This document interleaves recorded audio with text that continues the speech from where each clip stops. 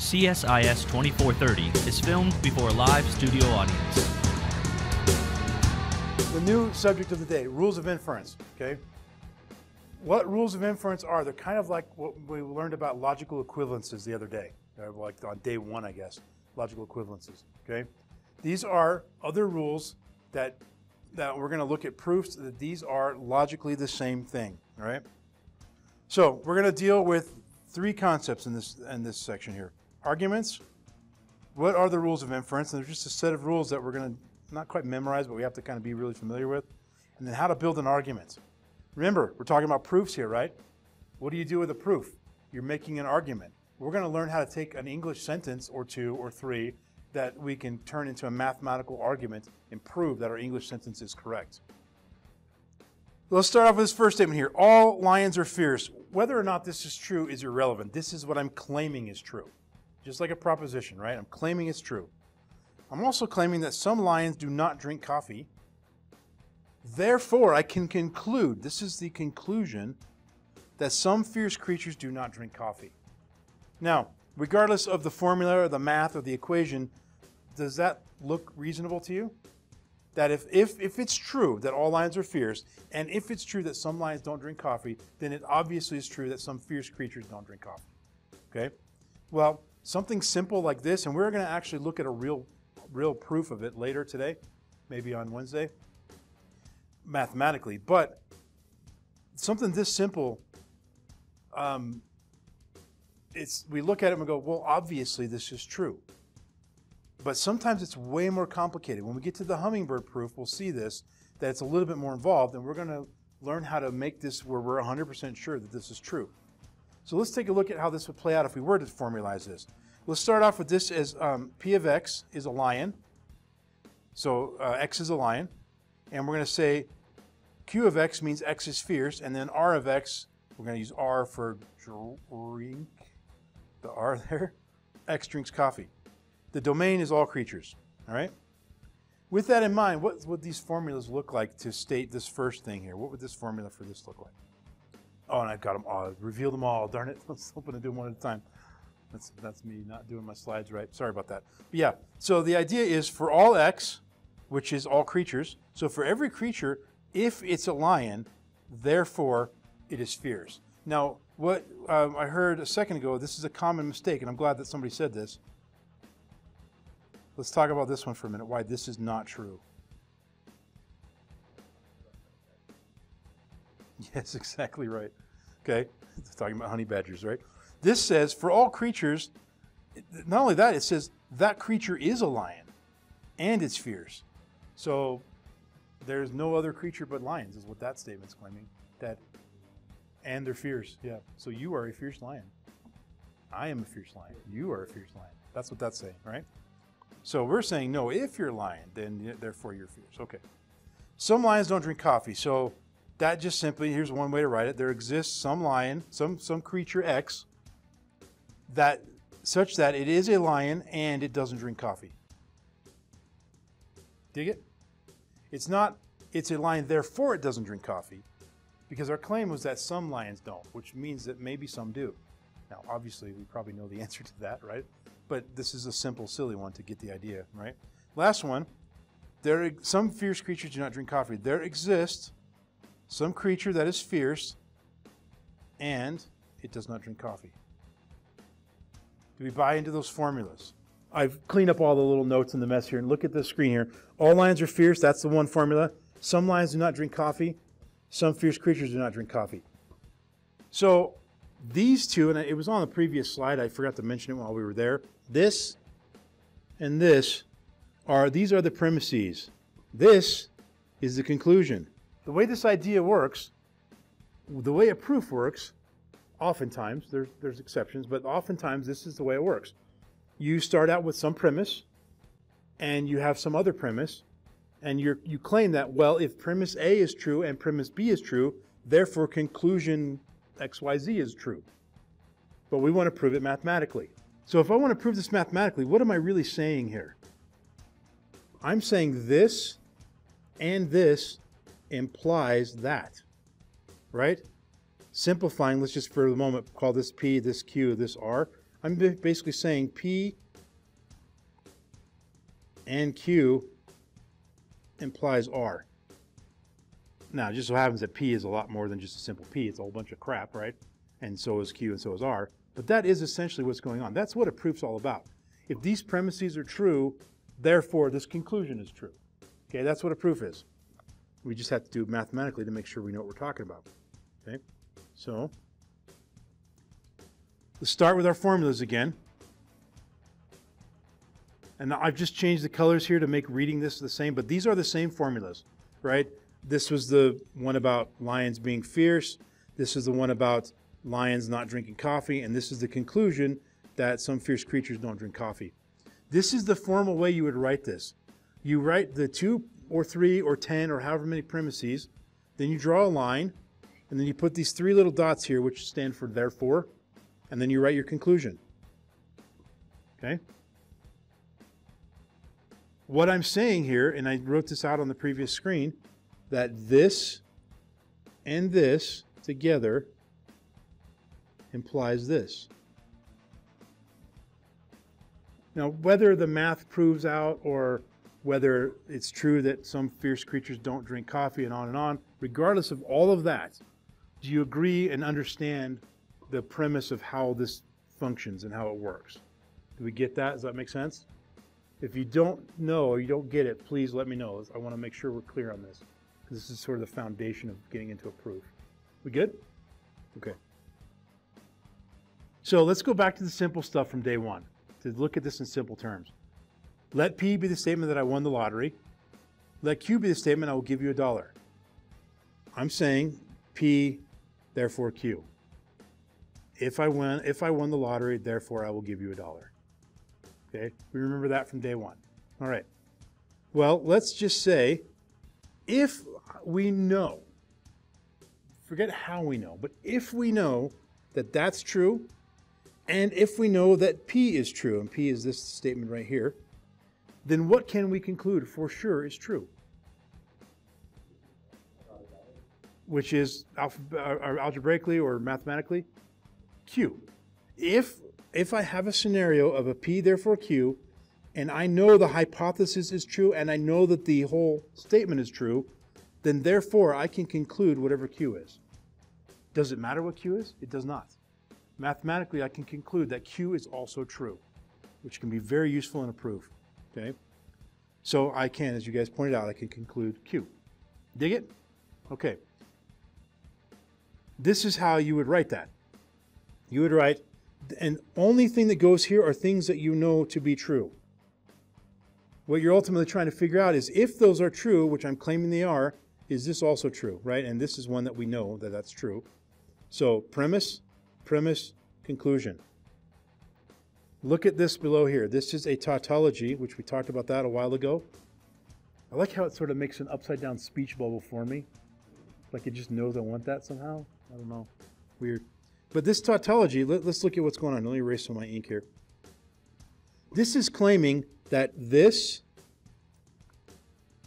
this, and this, therefore this. That's all that this says right here. Right? Well, this and this imply this will always be true. If you plug this into a truth table, which we are about to do, it will always be true regardless of what P and Q's values are.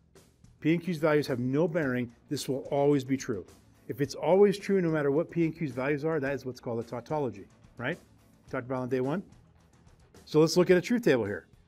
We know P and Q's values, right? We just plug in every combination of P and Q. We all agree with that?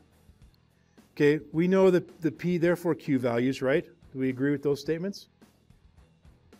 Make sure you look at them and make sure I didn't typo. I'm pretty sure I didn't, but just make sure. You good? Okay. So now I want to figure out this and this, right? That's going to go here. Do you agree with those statements? This and this. Well, the first one is true true.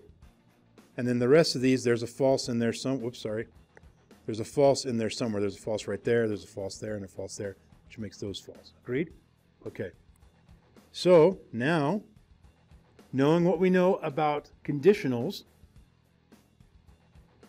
this, therefore that, and this squared thing is just this right here. Okay? So I'm looking at this, therefore that, right there. Right?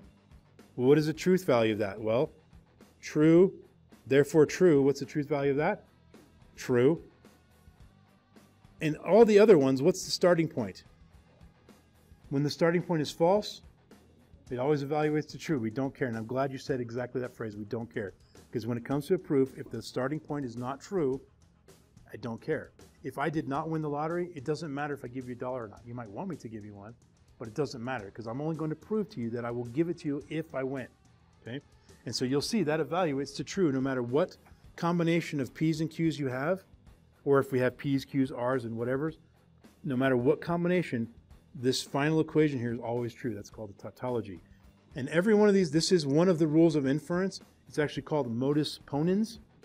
And every single rule of inference will have a tautology that goes along for the ride. We'll look at each one of those in a moment. Okay? And there, well, I, see, this is before I had a marker and I can write on the screen. So I was doing it in my PowerPoint there. So there, look, mark. See how perfect my square is that I just drew right now? All right. So again, this tautology, it's called modus ponens. The, the full name is modus ponendo ponens. It's Latin for mode that affirms by affirming.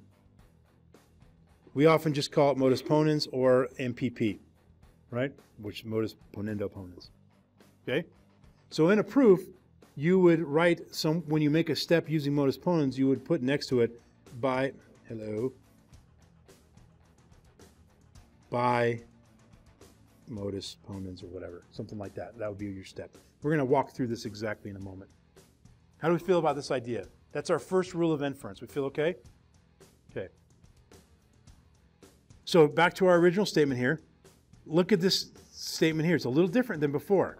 If that is true, and that is true, what can I conclude? Nothing. Very good. Nothing. That doesn't tell me anything. I know this is true. Okay, that's interesting. That means if I win, I'll give you the dollar. We know that. But I gave you a dollar. What does that prove? That doesn't prove anything.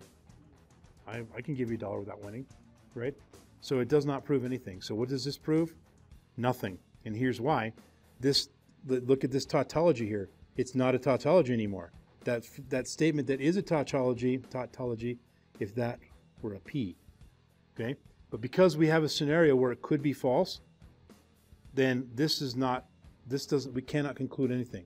The only time we can use these rules of inference is if they exist because we know that the tautology that goes along for the ride is also true. That is a mouthful to say. Do we understand it? This is the important point. This is right out of your book, Rules of Inference, right? So I think they're all pretty clear on the screens. You guys are close enough to. This one's written on, but I think you're good. Okay. So we just talked about modus ponens right here. And we saw the tautology that goes with it, and here's its name. All right? Do we agree with that? Do we understand it? Does it make sense? We feel okay about it? Okay. There's another one called modus tollens, or modus tenendo tollens, and it's something that affirms by denying, I think is what it, well, I think it's on another slide. But met, mode or method that affirms by denying, I believe is what that stands for. I'm never going to ask you what it means like that. I just that's the Latin translation. Do you have it on your printout there, Amanda? No. Okay. So, but look at what's happening here. I want to before we explain that, the, you know, convince ourselves that these statements are true. I just want to make sure you see how we're the what's written on the screen here. So I'm claiming that if that's true, which is not Q, and if P therefore Q is true, that I can conclude that. That is the claim. Whether or not you believe that's another story. They are all true. I'm not. This is not a trick. They are all true, but whether or not you believe them is irrelevant for the moment. What I want to make sure you understand is that that is saying that on every one of those lines. Okay, so I'm claiming that and that, therefore that. Dig it? Same thing here. I'm claiming that and that, therefore that. That's what this says. That and that, therefore that. So on down the line.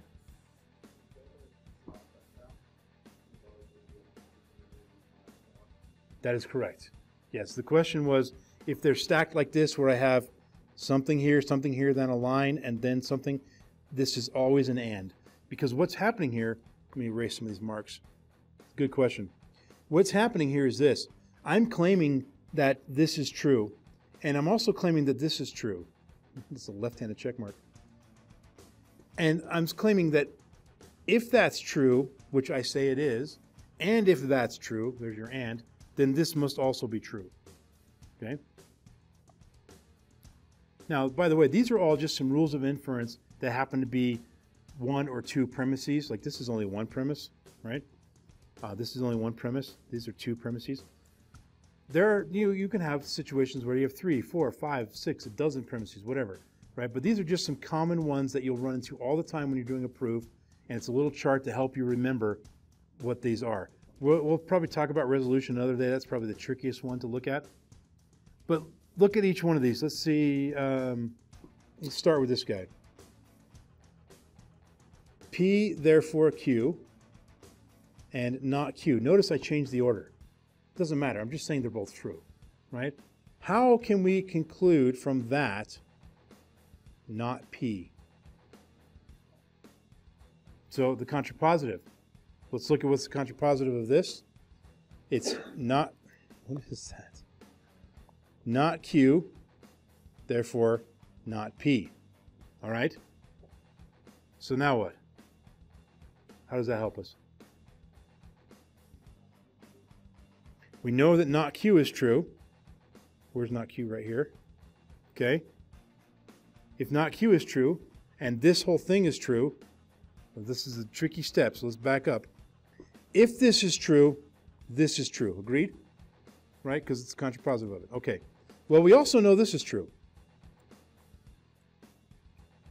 So that means this is true. Well, we also, since we know this whole thing is true, and we know the first thing is true, well, it's a conditional. If the first thing is true, the last thing has to be true. So this has to be true. So we can conclude that. Okay? And you can logic your way through every one of these and prove to yourself that they are true. Plug them into truth tables if you want, but they are all true. They all pan out. Some of them are really easy to spot. Like take, um, oh, let's go Look at this one. P or Q is true. Not P is true. Therefore, Q has to be true. Right? In order for this to be true, one of those two statements has to be true. Well, I've already told you that P is not true. So that means Q has to be the true one in the relationship there. Okay? Let's look at this one. That's called the dis disjunctive syllogism. Okay? Let's look at this one. Addition. This one's a no-brainer, guys. If P is true, then P or Q is true, right? I mean, that's, that's, that's silly, but it can come in useful in a proof, okay? If that's true, then we also know that P is true. Agreed? What else do we know is true? Q is also true. We know that for sure. If we know that's true, and we know that's true, we know that's true because that's all that top line's saying anyway. It's just saying P and Q, right? Same thing. Look at the hypothetical syllogism, okay? Let's take a look at that one for a minute. This is basically sort of a cut out the middleman kind of a deal. All right, we're saying that if if P therefore Q, we're saying that's true, and we're also saying Q therefore R, then that means P therefore R is true. Can you see that? So let's walk through that. P therefore Q. The whole thing is true, because that's just simply the claim of the premise. Q therefore R is also being claimed to be true. That's the claim of the premise. Okay, now, if this whole thing is true, how is it that P therefore R is also true? Let's take a look at the only possible values of P and Q. Let's go with a scenario where Q is false. Okay? which would mean what about P? It has to be false. Yeah, has to be false. Okay, so now we're claiming that Q is false. Well, now look at this. We know that P is false by default. We know that Q is false right here. Therefore, what does R have to be? Has to be false. Therefore, P, which is false, and R, which is false, that does evaluate to true. Plug in different scenarios. Okay, let's try a situation where Q is true. Well, if Q is true, what does P have to be? It has to be true, or it could be false, right? We already know what. Ha- let's start with it being true. All right. That means this is true, which means this has to be true, which means P and Q are true, or P and R are true, which means that's true, right? Okay. The other scenario is that's true and that's false, which means this is false. You stop it. My gosh, it's so annoying. Okay. If this is false, it doesn't matter what R is. We our initial point here, P is false. That being false, who cares what that is? This will evaluate the true. So that if you didn't follow everything I just did, that's okay. Plug in the numbers yourself, the trues and falses, and you will see that they do pan out, right? And as long as you understand conditionals and by or just conditionals, should be okay. All right? Feel okay about that? Yeah.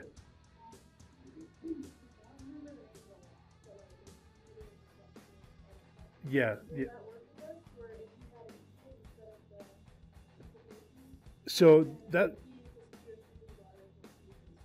that's a different situation. So what that she, what she's asking about is when we looked at the logical equivalences, like on day one or day two, where you have the whatever is logically equivalent to whatever, the triple equal sign, the hamburger. Um, that's simply saying that two things are they have the same truth value no matter what condition. This is not necessarily saying that. Now this part here is a tautology, which is saying that this, therefore, this will always be true. But I'm not telling you anything that it's logically equivalent to. There are things out there that it's logically equivalent to, but I have not shared what those are. That we didn't talk about any of that. Does that make sense? So this is not logically equivalent to anything. This is just simply saying that whenever that's true and that's true, this will be true. So, um, so are you asking if? Yeah. So uh, I'm, I'm trying. I, I know what you're asking. I'm trying to find space here to word it and write it. My erasers decided not to play today. Okay, let's clear all that out. So, so in other words, what she's asking is P, P therefore Q, Q, and we know that if that's true, if that's true, this will be true. So are you asking if P and P therefore Q, is that logically equivalent to Q? That's what you're asking? Okay.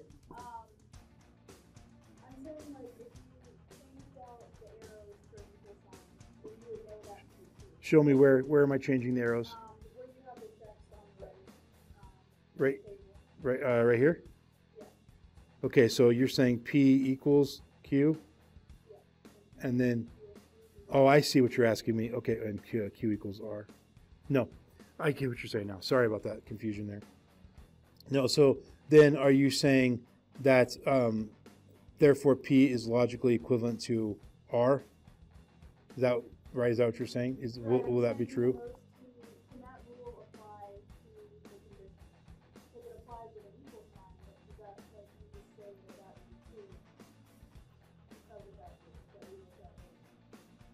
What rule did we look at earlier that you the, well, so if you're talking about the commutative rule, that's all that's simply saying is that this and this is the same as this and that, just rearranging the order.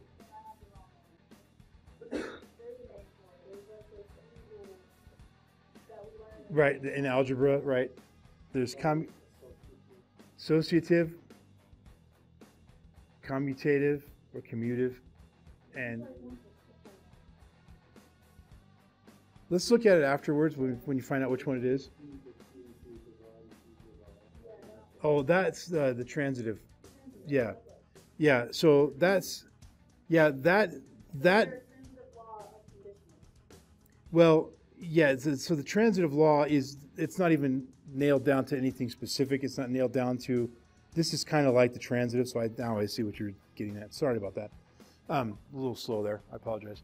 Um, yeah, this is kind of like the transitive property where, um, again, yeah, if, if P is equal to Q and Q is equal to R, then stop sliding. Then P is equal to R or whatever, right? That is true. That is a completely different thing. That's that's nothing to do with this. It just happens to be that that will be true. But they're not. There's no relationship there. That you can't simply change the arrow to equal signs.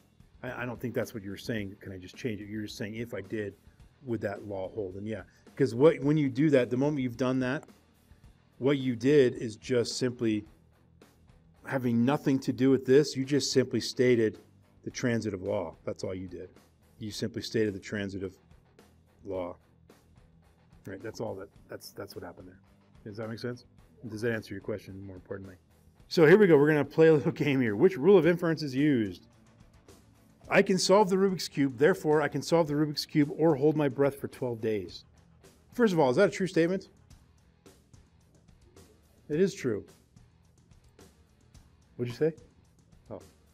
so which, which rule of inference is that?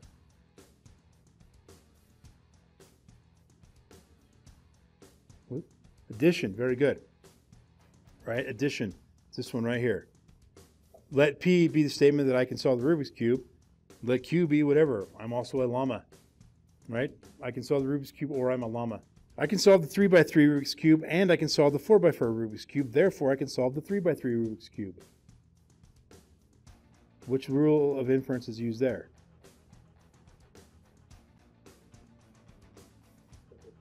Simplification.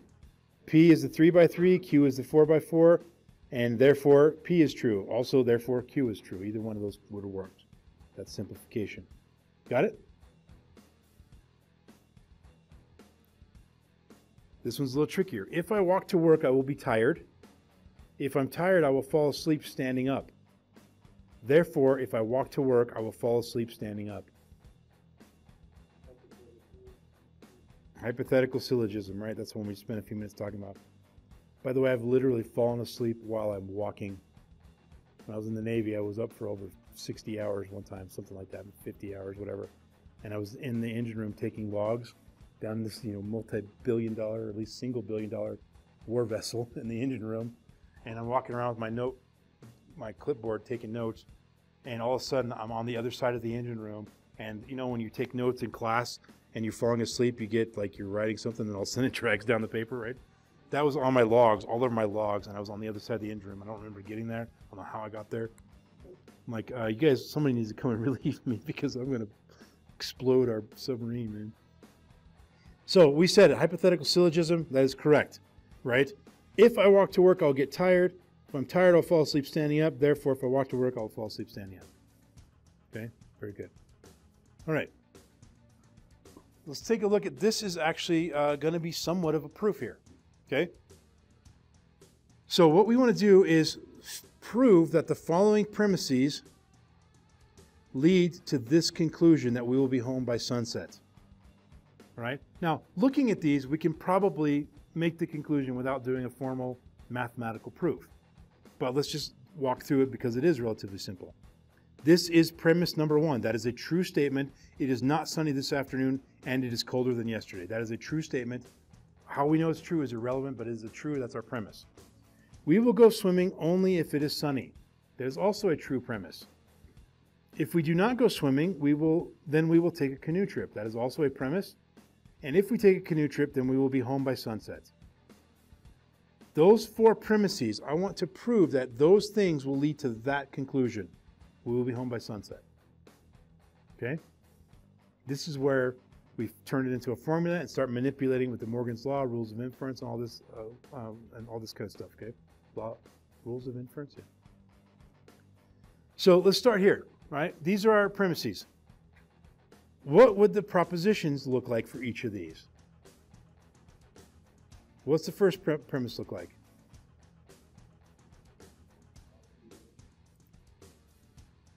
Well, we're looking at just the propositions. I said premise, but I meant proposition.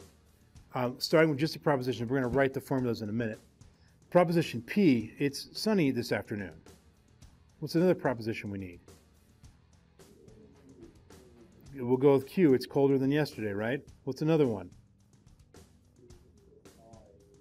We will go swimming, right? Just that part of it. That's a premise. Or, uh, sorry, that's a proposition. We will go swimming. We'll call it R. What else? Back up one.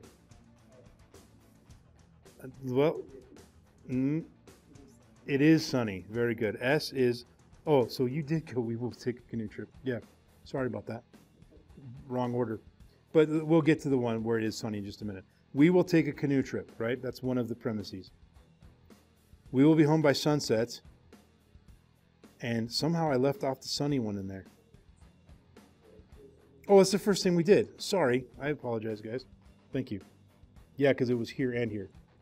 Yeah, okay. Sorry about that. That was my brain being broken. All right, so here we go. This is this is actually a, a proof. It's a simple one, but it's a proof. So we're going to start off with the premise. We'll just start with P, because remember, our original statement was it is not sunny this afternoon. So let's start off with the first premise here. It is not sunny this afternoon, and it is colder than yesterday. What does that look like? Not P and Q. Simple. We start with the first premise. Because remember, I'm going to have to go, um, let's see if I can, yeah, I've got them written down here for us, so that's good. Okay.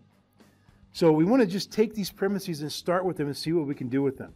Because we want to eventually turn it into this formula that says we will be home by sunset. We want to turn these premises into T. We want to mathematically manipulate our premises until we get to T. Because T is we will be home by sunset. I want these things to be rearranged into just simply T. You agree that's what we're trying to do? Okay? All right. So let's take a look at the next step here. What rule could we apply to this already? What could we do? You could do simplification. Yeah? If we did simplification, what could we end up with? We could end up with not P. What else could we end up with? Q. Okay? So let's go with not P. Now, let's time out right here. First question Do you understand what I did? Just moving from line one to line two. Second question Why did I not choose Q? Okay, so good point. Not P is more relevant. Why is it more relevant? Because we're talking about the sun a lot in this thing, right? Could I have started with Q? Sure. Now, when, if I did start with Q, somewhere along the way, I might have run into a snag where the proof kind of doesn't go anywhere. So I'm going to back up and go, all right, let me try not P. Let's see if that goes anywhere. Right? That's a very common trial and error kind of a thing. Okay? All right. So let's, we've already done one rule of inference on, on um, the first premise. So essentially, we don't, this is not a thing anymore. We don't really care about that. We've reduced it down to this. Yeah.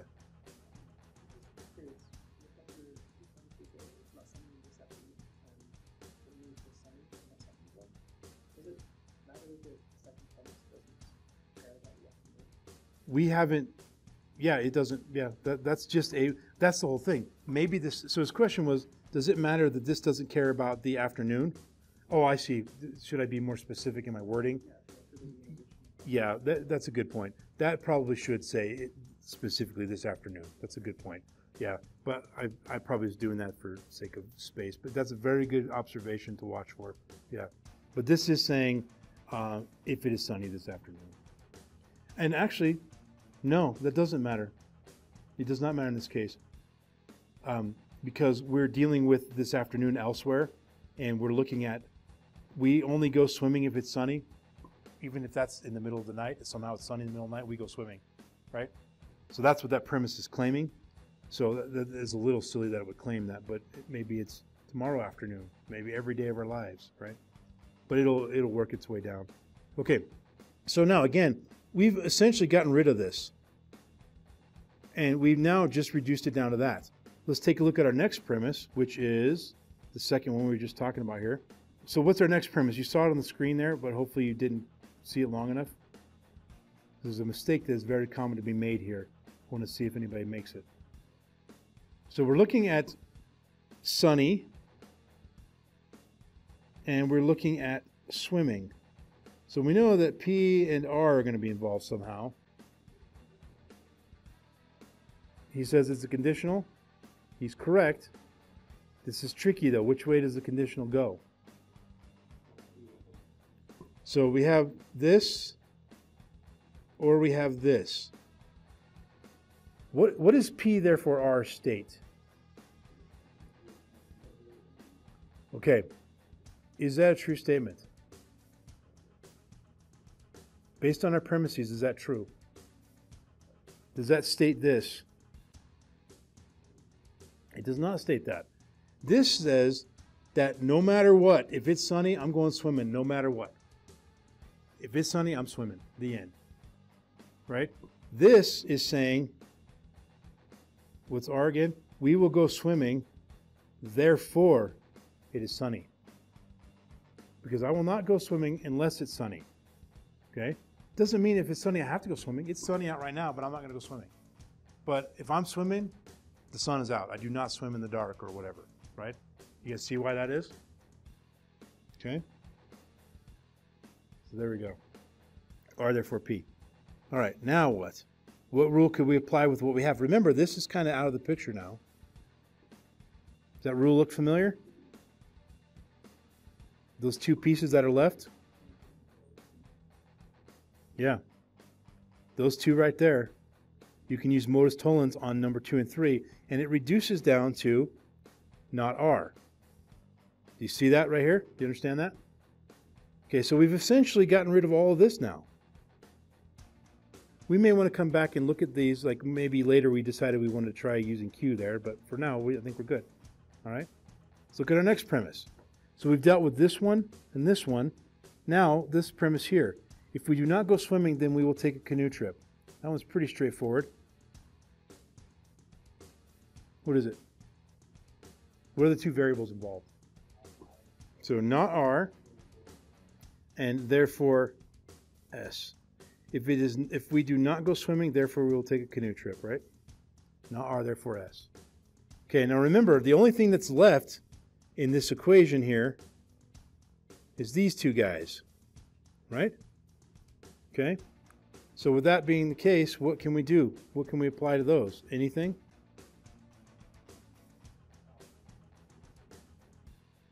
Your vote for modus tollens? Anybody see something else maybe? Modus ponens? Believe it or not, it is modus ponens. Because P is just simply a placeholder. It's, it doesn't have to be P. It can be W. It can be not W.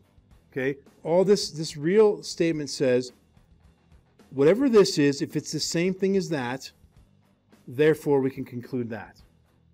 All right? So in this case, we have a not R, which is the same thing as that, therefore we can conclude that. That's modus ponens. Dig it? Did I skip ahead accident? Yeah, there we go. So we are able to conclude from that S. All right? All right, so now we have, we've dealt with three premises. Let's look at the fourth one. If we take a canoe trip, then we will be home by sunset. So how do we write that premise? What are the variables used in that one?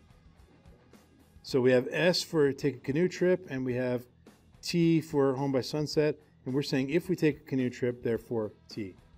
Right? So that's the premise. Notice I'm just rewriting the premise in mathematical terms. But also notice along the way, these things evaluate, this evaluates to that, these two things evaluates to that, those two things evaluate to that. So now we're left with just S and ST, S therefore T. Modus ponens again, and we can conclude T, which is what we were trying to conclude, right? We were trying to conclude T. So we used modus ponens to get our final result there, and we were able to take all these things, excuse my line there, right here, all these things, and allow them to conclude that one thing right there. And if you look at our original statement, show that the following premises will conclude with that. Okay? And that's this is not a premise right here, that's the conclusion. See it? Now, before we look at this nasty truth table, don't panic. uh, how do we feel about th- what I just did there? That is a f- proof. Now, that's a simple proof. They get more and more involved and more complex, and we will see more complex ones on Wednesday. But let's start with this little truth table. Why is this here? I just filled out the truth table for every possible value. Now, this truth table has um, this many variables in it five. How many rows are there? 32. Why? 2 to the fifth. If you're making a truth table, it's going to be the number of rows will be 2 because you're just looking at true or false to the power of how many variables you have. So you can quickly see doing a truth table for something like this, kind of a nightmare, right? And the first thing you have to do, and look at this closely, um, notice that the first we have the P here, and it's all trues up, up here, and then all falses, right? And then when we get to Q, we split for all of the trues here, we split those trues in half and falses in half. For all the falses down here, we do the same thing. We split the trues and falses, and then we keep splitting it down, right?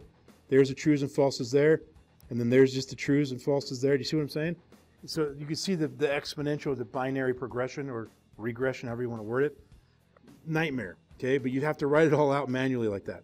We are not going to do that because we use rules of inference.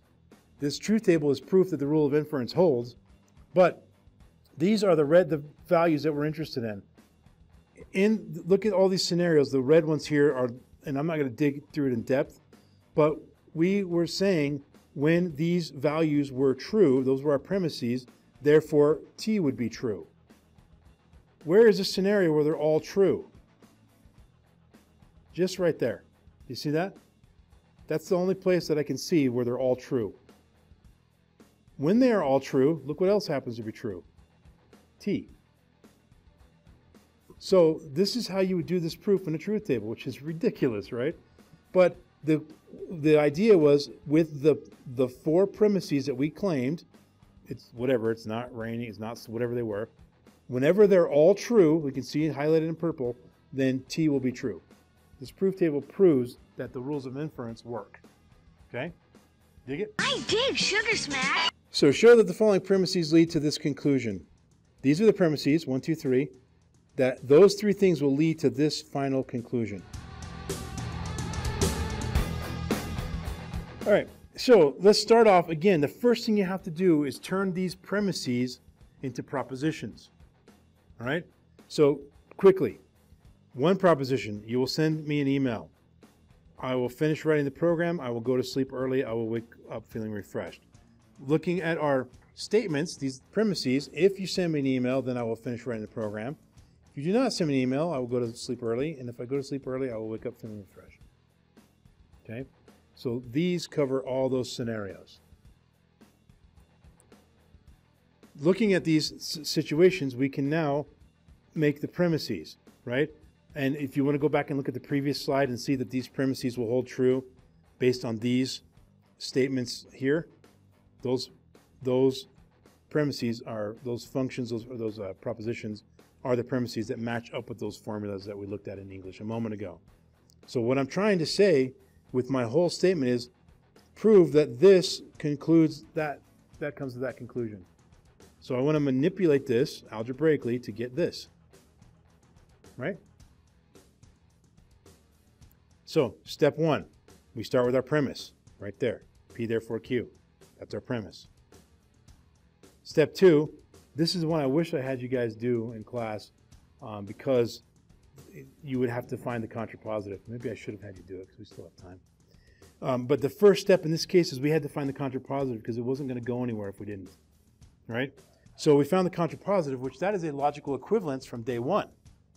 So we find the contrapositive. Then we look at our next premise. So we just converted this into this. Now let's look at our second premise and see what we can do with it. Because ultimately, what are we doing here? I'm trying to make this look like that, algebraically. Well, why do a contrapositive? Because the contrapositive gives me a not Q. And a not Q is in my final result, and I'm looking for a not Q somewhere, right? So now that I've got a not Q, I also need, I know I need an S somewhere. Well, let's just look at what we have. Go to the next premise, see what I can do with it. Okay? You see anything I can do with it? What? Hypothetical syllogism?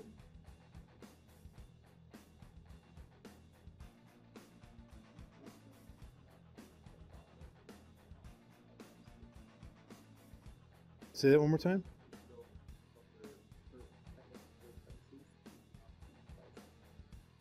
Okay. Um, well, the first premise we've turned into something else, right? So we're ignoring the first premise now because this is the first premise, just in another form. So what Amanda pointed out is hypothetical syllogism. We have something, therefore something else, and then that something else, therefore a third thing, which means we can cut out the middleman. We can get a not q, therefore r, which gets us still a not q, therefore something. We're on the right track, right? So using hypothetical syllogism of number two and three, we get that. Okay? Now again, I'm trying to get to here. Well, looking at what my last premise and what I have left, what can you see? There's another hypothetical syllogism, right? Look at the next premise. It's R, therefore S. And this thing that we've narrowed everything down to with this thing, using hypothetical syllogism, we get not Q, therefore S. Do you agree with that? Okay. And there you go. So we have now rearranged all of this to look like that. So I have shown that I can make this come to that conclusion. That if this is the case, then this will also be the case. Now, maybe this proof was saying, hey, um, prove that, you know, Q, therefore S is true. Not not Q, but just Q, therefore S. Well, somewhere along the way, the proof would break and we would not have been able to prove it. In this case, we were able to get there. Okay? How do you feel about all that? So again, this is the final thing we came to on the previous page here. We wanted to say, prove that that the, these premises lead to this. If I do not finish the program, then I will wake up feeling refreshed. Did not finish the program, therefore I woke up feeling refreshed. I will wake up feeling refreshed. Okay? Universal instantiation. This is a rule of inference using quantifiers. All right? Now, we know the term instantiation. What does that mean? Yeah, when, where do we see that? Where have we heard that word before? In programming in Java, right? In Java, you have a class and you make an instance of that class and it's called an object, right? This is the same idea. We, if we are saying that for all x, whatever the domain is, doesn't even matter, for all x that p of x is true, then we know that p of some arbitrary value c is also true if c is in that domain, right? Whatever the domain of x is. You understand that? That one's pretty easy to understand, right? I'm claiming that whatever, for all fruit, um, p of x is true, which p of x is its food. Okay, therefore, p of apple is true, because that's a fruit, right? It's in that domain. So I'm just simply saying, if it's true for all of them, it's true for one of them. Duh. That's pretty, pretty common sense. The one that's tricky is this one. Look at that for a minute. I'm claiming that if it's true for some arbitrary value c, then it is true for all values in the domain. That does not seem right, does it? It is correct, but it doesn't seem like it is. The way we're going to prove that later, just for now, push the I believe button, but later on we're going to look at scenarios where we're going to mathematically calculate stuff with variables and values that we don't even know what the values are, but we're still going to come to final conclusions that will ultimately prove that it's true for some random arbitrary value, and therefore it will be true for all values in the domain. We will be able to actually prove that with a proof later. Okay? For now, just believe me that it works, right? I know it's tricky. Next one, existential instantiation. Again, if it's true for this, then it's true for some specific element C. We can't just pick an arbitrary C. It is some specific element. For this one, when that's true, it's true for any given element in the, in the domain. In this scenario here, though, we're saying it exists for some case, maybe one, maybe two, maybe whatever. Therefore, there is some element out there where it's true. I think that one makes sense. Instantiations, to me, are pretty common sense. You guys feel okay about that? Okay. I think the last one you will also agree with pretty easily, which is if this is true, if P of C is true for some element C, well, then there exists some element where P of X is true, right? I just told you it's C, right? Does that make sense? So this is where I'm generalizing it. So there will be scenarios, and we might be able to walk through one here in a second. There will be scenarios where we're going to use this principle to prove that because it's true for all, it's true for one, or vice versa. Okay? So let's take a look at this one. Premise one Everybody in this class has taken a course in computer science. That's a premise. Marla is a student of this class. That's a premise. The conclusion is Marla has taken a course in computer science. With our human brains, that's obvious, I think. Right? Regardless of the math, that's, that statement seems obvious. Okay? But we need to look at it in terms of how we would do it as a proof when it's not as obvious. So start off here. d of x is that x is in this discrete math class. c of x is that x has taken a course in computer science. Those are reasonable predicates, right? For what we're looking at. So now, this premise here can be rewritten like this. For all x in the domain of x, if that person is in the math class, therefore they have taken a course in computer science. Agreed? That's the first premise. Our second premise right here, Marla is a student in this class, so D of Marla is true. That is a known fact, right? Because Marla is sitting right there, right? Or wherever, right? Okay? So we're saying these are our premises in mathematical terms. I want to be able to prove the, that conclusion. That is not proven yet. We want to prove that. That is my final conclusion I want to prove. So I need to manipulate all this stuff to look like this. Okay? So start off with my premise. Using universal instantiation, would you agree that that must be true? Right? If some, for all students, all whatever our domain is, if they're a student in this class, therefore they have taken computer science, therefore D of Marla, therefore C of Marla. Why did I use D of Marla, not D of Bob, D of Joe, D of whatever? Because I know D of Marla is true, because that's one of our premises. Oh, and so I, what this really is, if I was going to, if we're going to do universal instantiation without knowing it specifically was Marla, I'm really simply saying D of something, some person, right? That's what I'm saying. Just so happens I know who that arbitrary person is. It's Marla. Okay? We, we good with that?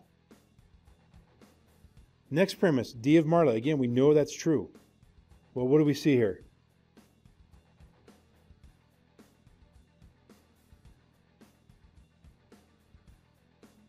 Modus ponens, which gives us C of Marla. Which means I was able to mathematically manipulate those two things to look like that right?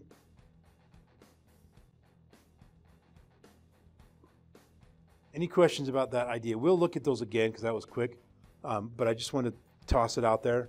But this is these foundations, these pieces here. I'll get you in a second.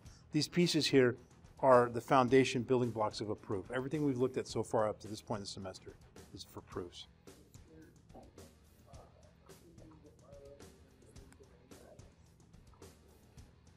going back here, the question was we assume that Marla was in the domain of X, same domain as X. We know that Marla is a student in this class, and our domain is whatever it is humans, creatures, whatever. We know that if they're uh, in the class, therefore this has happened. Well, we know she's in the class, right? So, yeah, we would probably want to be a little bit more clear that she is in that domain X. Yeah, very good. Okay. See you guys in a couple days.